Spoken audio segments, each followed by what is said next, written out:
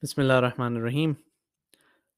So, today we're going to talk about forgetting to succeed. What is the impact of Satan on achieving our goals? It's a really interesting topic because so far we've been talking about how Satan causes, causes forgetfulness, but now we're going to talk about what is the impact on our lives, like literally on our lives, on our goals, on our New Year's resolutions, everything that we want to do.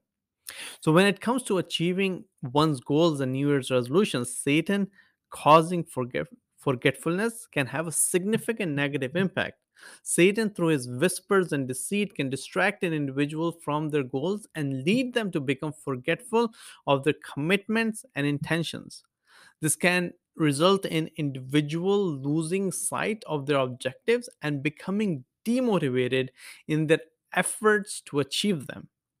The impact of Satan causing forgetfulness on achieving personal goals can be particularly detrimental. For example, an individual may set a goal to improve their physical health by exercising regularly, but Satan may cause them to forget their commitments to their goals, leading them to become lazy and neg- uh, neglectful of their health.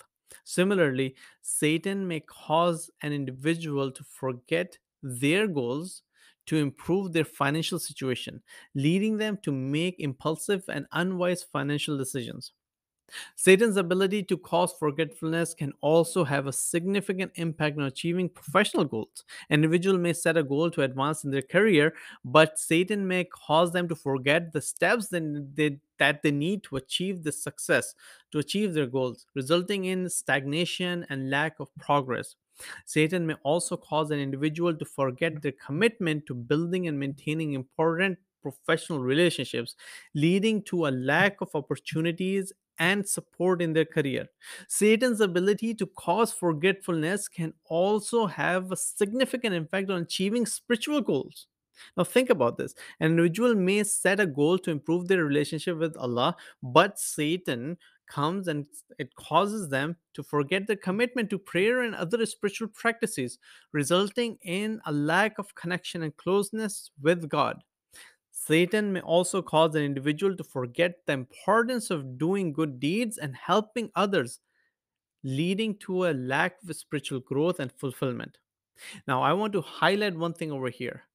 Connection to Allah, connection to the Creator, connection to the God is such important concept. We take it so lightly we take it lightly because of the ever deceiver shaitan, ever deceiver Satan, ever deceiving Iblis, who makes us forget the importance of this connection.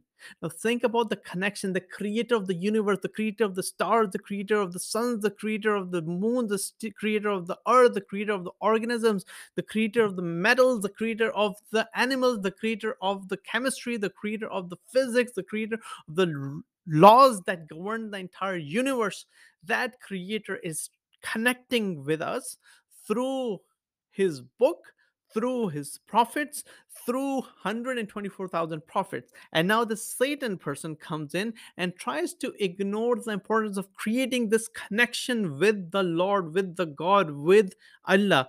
As a result, we ignore that connection. We think about everything else in the world, not about that particular connection. And that is what Satan does. It forgets, it makes us forget the importance of certain aspects of our life, certain aspects of the purpose of life. As a result, we always are uh, trying to figure out what is right, what is wrong, and ignore what is truly important in life. As a result, we cannot achieve our spiritual growth and fulfillment.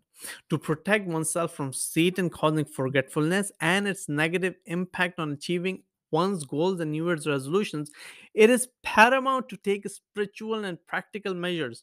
This can include include regularly reciting du'as as we talked about previously and prayers that protect against shaitan such as surah al-baqarah surah al-falaq surah al-nas other surahs Additionally, it is important to maintain a consistent spiritual practice, such as regularly reading the Quran and performing daily salah, and also making sure that we are staying away from what Allah has prohibited, prohibited and doing what Allah wants us to do. Practical measures can include setting reminders and writing down goals, as well as regularly reviewing and reflecting on one's progress. Ultimately, the key to protecting oneself from shaitan, causing forgetfulness, and achieving one's goals and New Year's resolution is to remain steadfast in one's faith and commitment to God. So, in regardless of what is happening in our daily life we need to define certain parameters that we mm-hmm. must follow. Once we define those certain parameters everything else should and would come into place. But relying by, by relying on god's guidance and protection an individual can overcome shaitan's whispers and remain focused on their goals ultimately achieving a sense of fulfillment and success in their personal professional and spiritual life Thank you. Wassalamu alaikum. We're going to continue with some other examples of how this has happened in other places, in other faiths.